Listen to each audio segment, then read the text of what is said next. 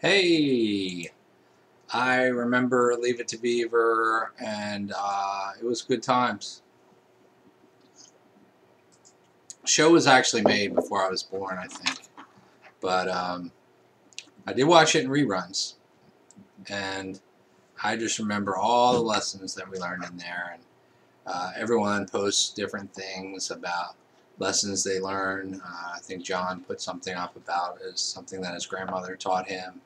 And, uh, and the lesson I would say to you all out there, especially if you're young, and when I say young, that's under 30 or 30 or un under, like you, Shauna. Um, uh, I would say that you should try and hold back a couple of dollars for uh, marketing and getting things rolling and postage and that kind of thing.